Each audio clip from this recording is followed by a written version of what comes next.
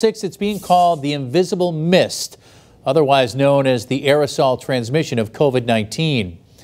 Aerolized droplets floating in the air can cause the spread of the coronavirus.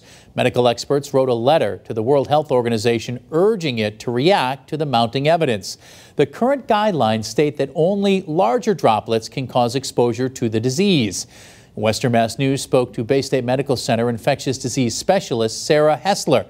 She says there is, or rather are, different ways bacteria can spread, including through droplets of when you sneeze or possibly speaking loudly.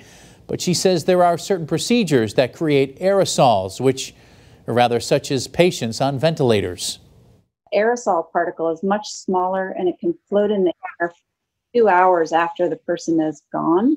And so um, it's not just sort of a wet, heavy droplet within three to six feet floating in the air. So somebody that comes into the room afterward could then become infected. That is scary stuff. Dr. Haessler urging everyone to continue to social distance and wear masks to remain safe.